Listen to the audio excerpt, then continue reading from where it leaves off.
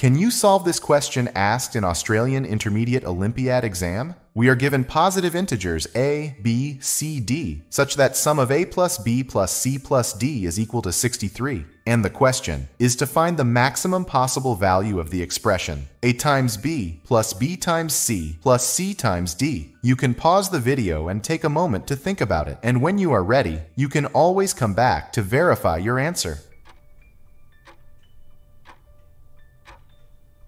Alright, let us solve it together. To solve this problem, we are going to use something called an area model. So let's start by building rectangles that represent each term. First, for a times b, imagine a rectangle where one side is a and the other side is b. That gives us a rectangle with area a times b. Now to represent b times c, we extend the rectangle by adding strip of length c on height b. That gives us a rectangle with area b times c. And finally, to represent c times d, we build one more rectangle by adding a strip with length c and width d. That gives us the area c times d. Now just for fun, let's go ahead and complete a rectangle with area a times d. Now if you look closely, the blue shaded area, which includes a times b, b times c, and c times d, is just the area of this big completed rectangle ABCD minus the area of this small missing rectangle a times d. Correct. So algebraically, we can write this. A times b plus b times c plus c times d equals the total area of this big rectangle ABCD, which is a plus c times b plus d minus a times d. So now, instead of maximizing this strange sum,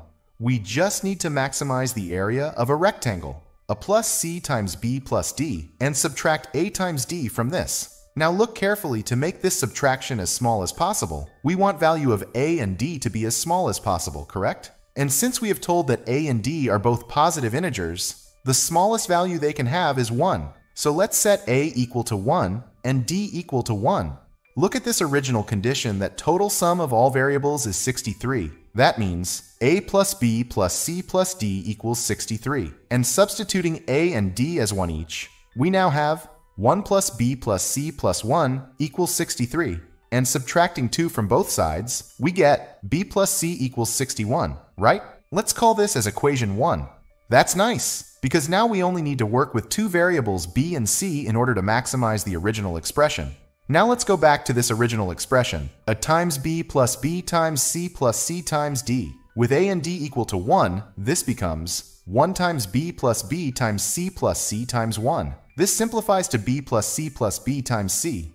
So our target is now to maximize this term only. Let's try substituting b as 61 minus c from equation 1.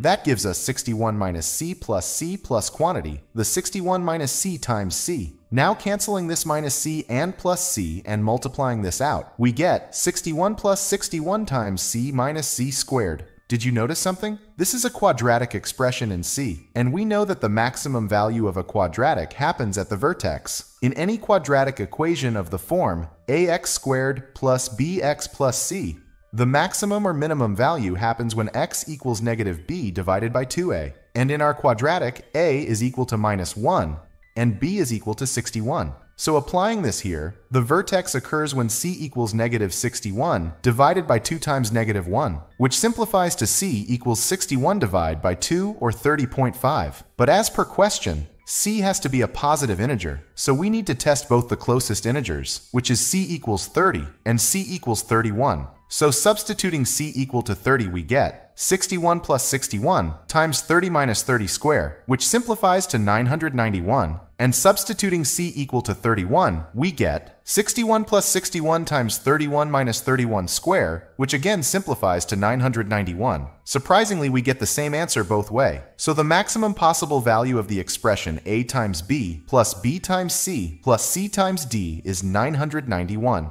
And that's our final answer. Pretty amazing, isn't it? What looked like an abstract and difficult algebra problem, it turned out to be something beautiful and geometric just by using rectangles and symmetry. If you found this explanation helpful and learned something new, do not forget to hit that like button, share it with a friend, and subscribe for more mind-bending math puzzles.